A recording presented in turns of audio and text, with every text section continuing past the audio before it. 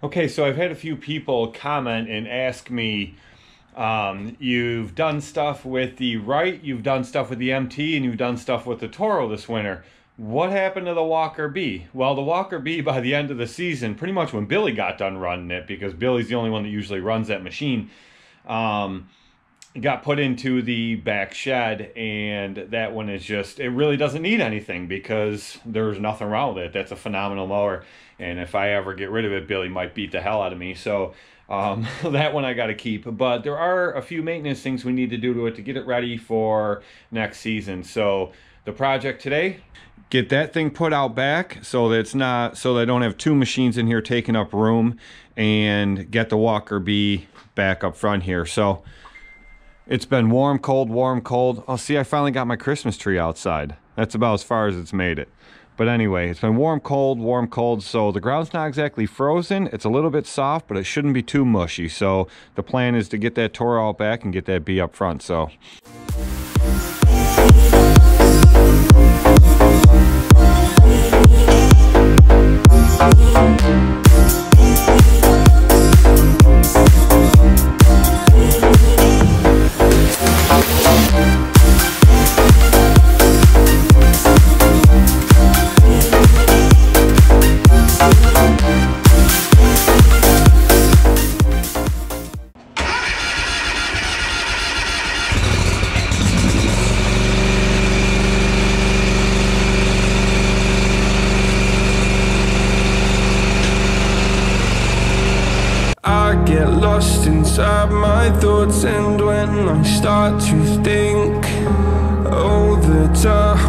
Closest starts to end up on the brink. I tried so hard, but all these scars They cut so deep, I bleed. I fell so fast from heaven It's like someone clipped my wings. Now I'm falling And I can't see the ground. Can we stop this gravity? It Look how dirty this thing is. It needs a bath. Bad. She's dirty, but Billy ran this thing hard. I'll tell you what, there is, uh, well, let's see how many hours are on it. 296 hours. This thing had, I think, 150, 160, something like that before this season started. So that's how many hours Billy put on this machine this year, or 2019. He put over 100 hours on this thing. And I'll tell you what, I, I found very few people that can run a Walker B like he can. You guys have seen it in all the videos. Um, let's watch a little clip right here real quick of Billy running this machine.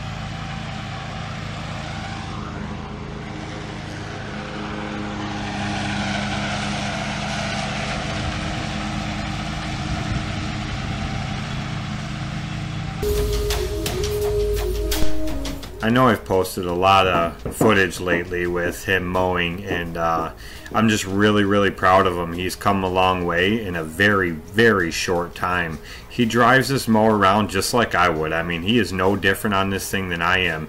He's just as quick on it. He can make all of his turns really fast without tearing up any grass.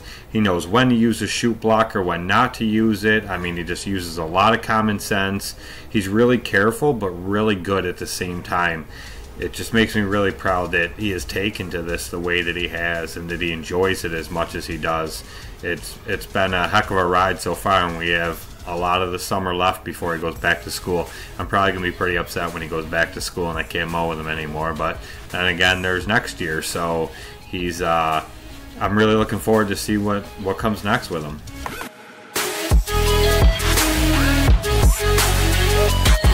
So as you guys know, this is Billy's machine of choice. Um, he's been on a bunch of other ones and he just wasn't a fan.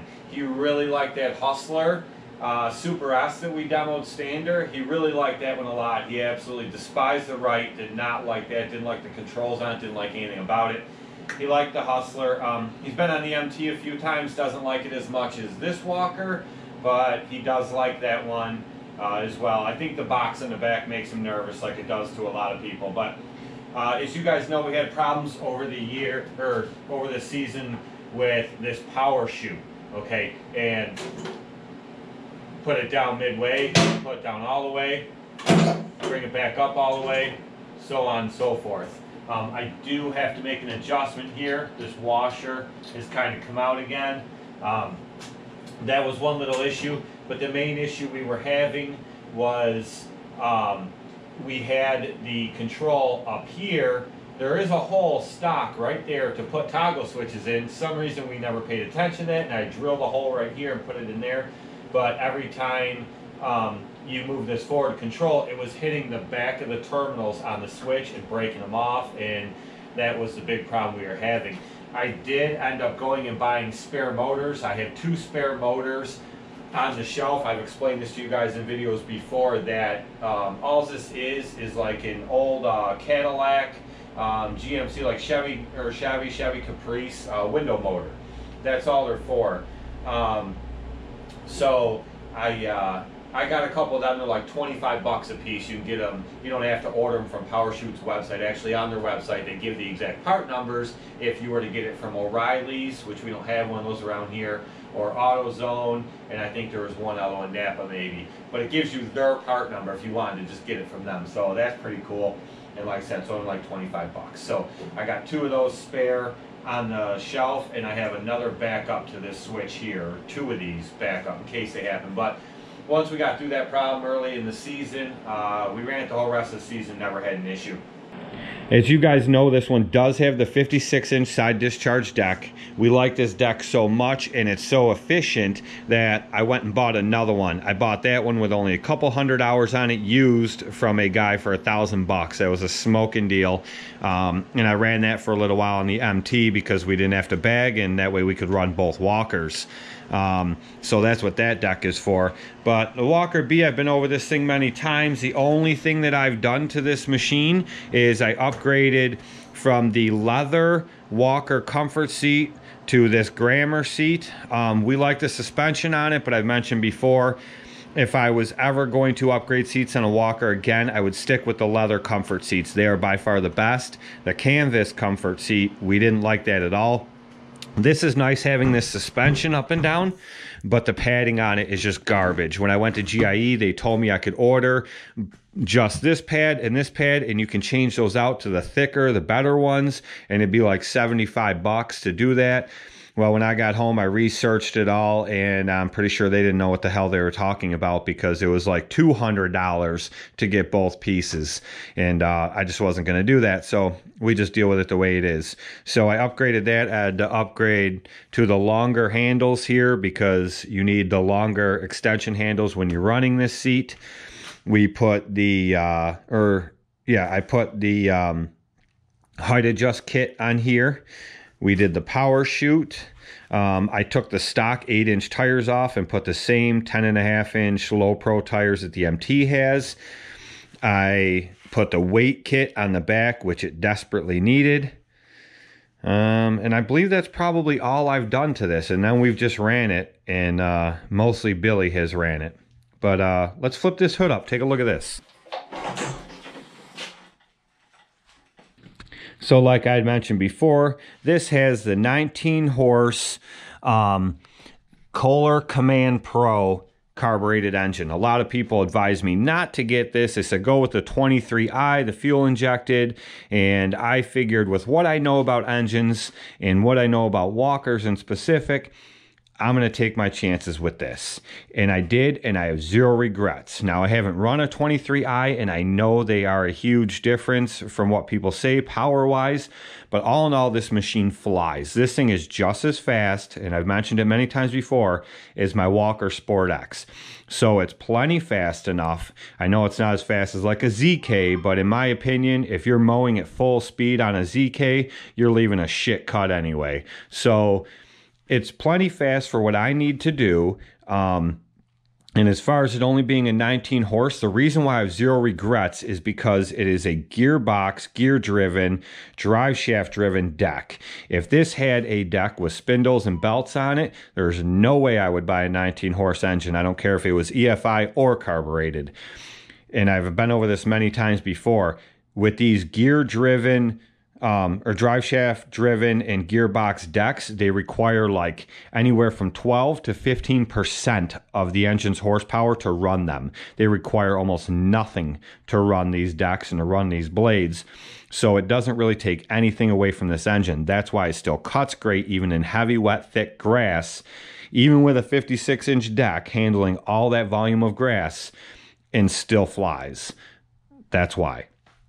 So, and like I said before, I've put it up against um, bigger machines with bigger engines and bigger decks, and this thing did not bog where those did.